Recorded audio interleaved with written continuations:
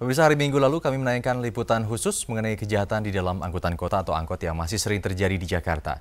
Hasil penelusuran tim liputan khusus ini kami bawa ke Gubernur DKI Jakarta Joko Widodo yang berjanji akan merombak sistem transportasi Jakarta supaya lebih aman dan nyaman.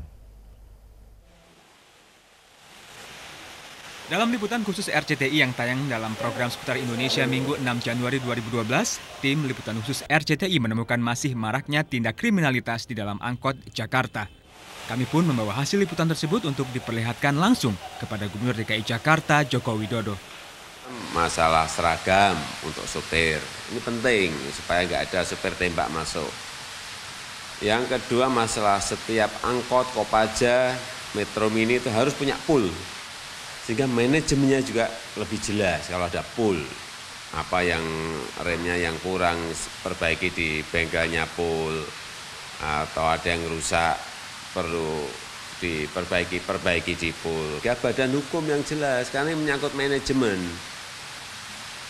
Siapa yang bertanggung jawab terhadap misalnya metro mini itu jelas dia.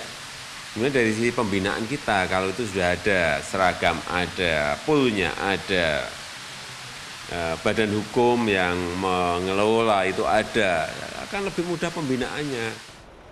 Untuk memperbaiki sistem transportasi umum dan meningkatkan kenyamanan penumpang, Pemprov DKI Jakarta tahun ini akan menambah armada angkutan umum seperti bus Transjakarta, Kopaja, dan Metro Mini. Selain itu, razia akan semakin sering dilakukan, baik oleh polisi lalu lintas, Satpol PP, atau Dinas Perhubungan. Tim Liputan RCTI melaporkan.